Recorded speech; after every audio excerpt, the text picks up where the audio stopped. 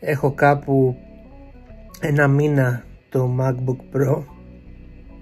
Δεν είναι το Mi 1 Max είναι το Mi 1 Pro.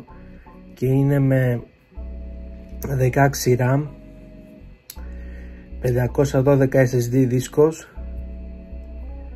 Έκανε γύρω στα 2600 δολάρια ξέρεις στην Αμερική.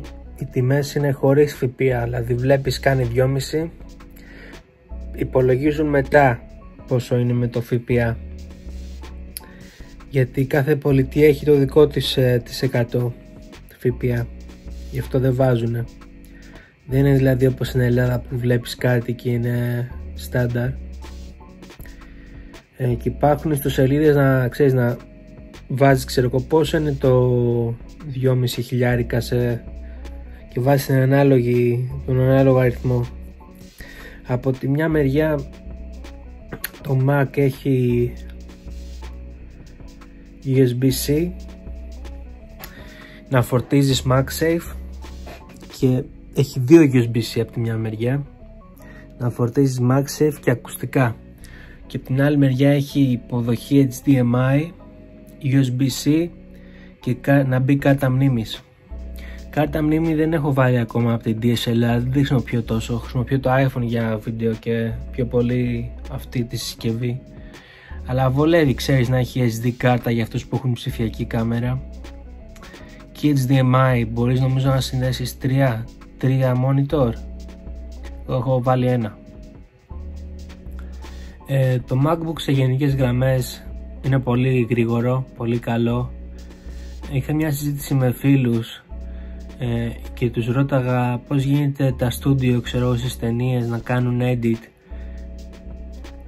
σε εξωτερικό δίσκο που το render είναι μεγαλύτερο από το χώρο του δίσκου. Και μου είπε ένας φίλος ότι έχουν server δεν ξέρω πως δουλεύει αυτό με ξέρεις να ανεβάζουν σε Google Drive και να είναι άμεση επαφή με το project ένας φίλος μου είπε ότι έχεις στο PC του 19 τέρα δίσκο ε, δεν ξέρω μετά 19, ναι 19 τέρα. Γιατί κάνει μεγάλα render edit και θέλει μεγάλο χώρο. Και του είπα ότι ακόμα και το πιο high end PC για δουλειά όχι για gaming είναι λιγότερο καλό από το macbook που βγήκε τώρα και γέλαγε